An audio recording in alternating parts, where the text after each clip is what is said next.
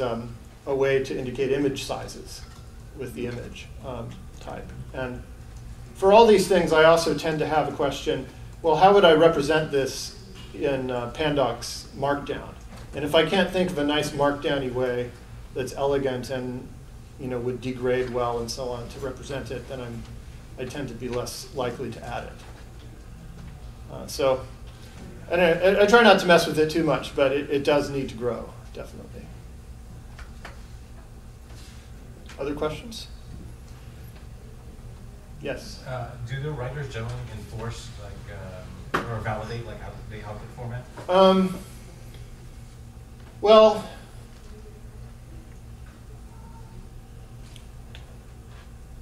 so if I'm producing yeah. like XML. So you want to know if, if the Pandoc HTML writer will ever output invalid HTML, for example. Correct. Yeah. And, and I think the answer is no. Um, I would think it would be a bug if it did. Um, it, it could be doing something more serious that's not doing so. Like, I mean, I think um, Objective Caml has some libraries where, you know, they have things like our Blaze Builder, uh, where you cannot construct an invalid document. It's just a type error, and uh, including what can be contained in what and so on. And we're, we're not using anything uh, like that. But I think the way the writer is set up, it won't, in fact, produce any invalid HTML. Actually, I think Pandoc is kind of a nice way to learn LaTeX. If you want to learn some LaTeX, you know, Markdown or HTML, just type it out, convert to LaTeX, and then you know, you can see how to do the things that you generally need to do. then you can move up to using the full power of LaTeX, which which does allow you a lot more control over things than, than Pandoc, but at the cost of not having um, multiple output formats.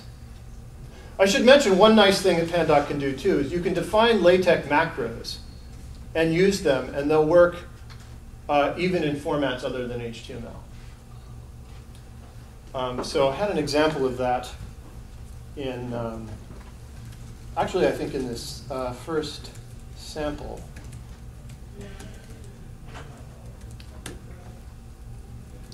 So here's a macro definition. It's a LaTeX macro definition. And you can have inline LaTeX in Pandocs Markdown. So this is an example of it.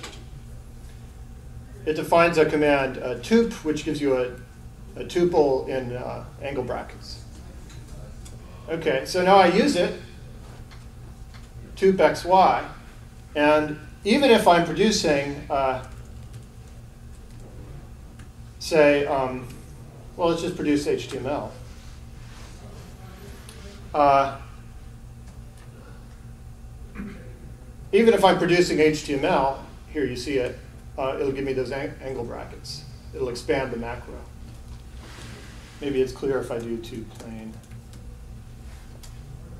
Uh, that didn't work, did it? Uh, let's do two. Uh,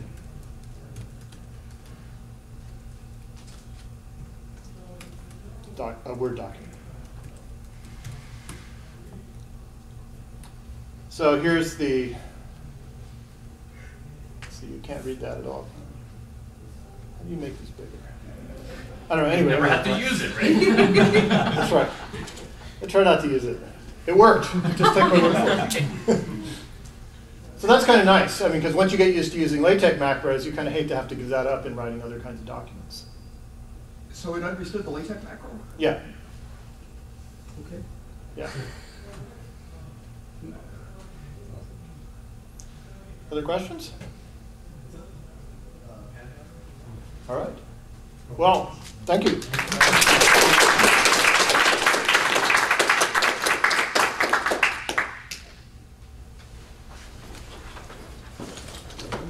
I'll be around uh, this afternoon, so feel free to pester me if you have any more.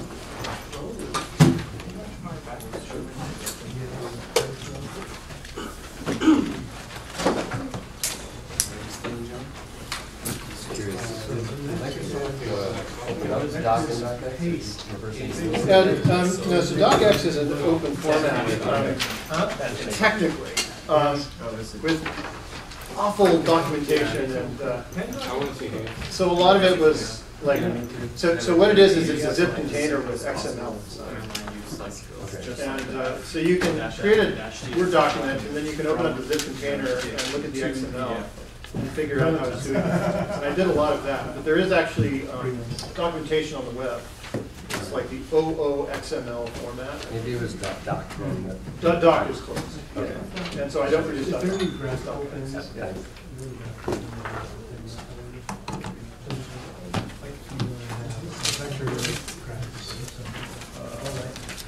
Well, there was, uh, there was an entry. Yeah.